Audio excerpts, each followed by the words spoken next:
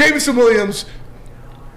I don't know if he's going to play on Thursday. I don't expect him to play on Thursday, but he's going to be back very soon. What does that mean for this Detroit Lions offense? It means everything because that is you're right that is the one thing that this offense is lacking explosive plays i know we all are big fans of Amon-Ra St. Brown he has done a great job but he's more of a possession short intermediate route receiver he's only averaging 10.6 yards per catch and his long is 49 nothing wrong with Amon-Ra St. Brown i love Amon-Ra St. Brown but you need someone who can complement him like Jameson Williams. And I know it was college.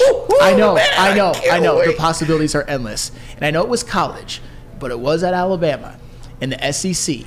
And in the numbers that Jameson Williams put up, he was robbed of a Biletnikoff Award, by the way. 79 receptions for 1,572 yards, 15 touchdowns, averaging 19.9 yards per catch. And that's not all.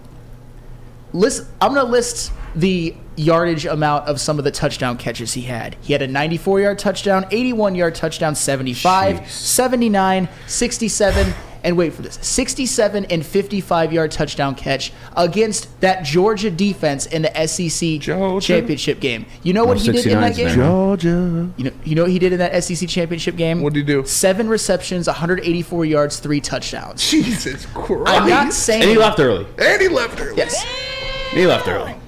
He left early in the, No, national, in the yeah, in the national national championship. Oh, championship. national game. championship. They Okay, that's again. what I thought you said. I apologize. But the point is, is that Jameson Williams is, to me, he's going to walk right in on the field and be one of the fastest players. Oh yeah, he's In- the in- second in the fastest rated player on Madden. If that means anything to you, I mean, to- yeah, I mean, I'm no, just saying. but se- No, seriously, right. that is how fast he is. He's that guy that he. c- I'd say Jared Goff is at least pretty decent at throwing maybe the crossing route. yeah. yeah. What can Jameson Williams do with a crossing route if, if Gee, he's open field? I see he can take it to the crib. He can take it to the house. take it to the cut. I, dude, I, I saw that. I, am so, Relax. I'm just so excited right now to get this cheeks kind of top flight weapon. but we, how many times did we say when we were watching those Detroit Lions games the past couple weeks, and Kalif Raymond or Tom Kennedy or one of the other nameless receivers catches that that crossing route, catches that slant across the middle, and you're like, Jamo would have took that to the crib. Hell, I mean, even Amon St. Brown. Yes. We love Amon St. Brown, but he just doesn't have that explosion and that speed. Yeah. I mean, to me, Jameson Williams is, I'd say his ceiling is DeSean Jackson, but like way, way better at running ceiling? at running the short and intermediate routes, but like three times better.